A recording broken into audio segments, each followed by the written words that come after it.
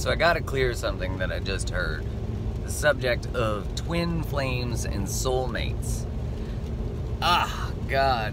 Uh, Don't get me wrong, if you love that term and it's all love and light and all that stuff, I got nothing but love for you. And I want to say that the moment you say someone is your twin flame, you now go into a scarce mindset. Like, what happens if your twin flame is a, a gaslighter or douchebag?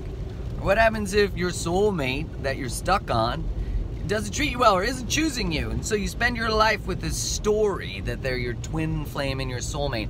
I say, adopt the belief that there are many people that are your soulmates, and everyone who's been in your life and been your romantic partner has been your helper. And I'm not driving, by the way, I'm just doing a video.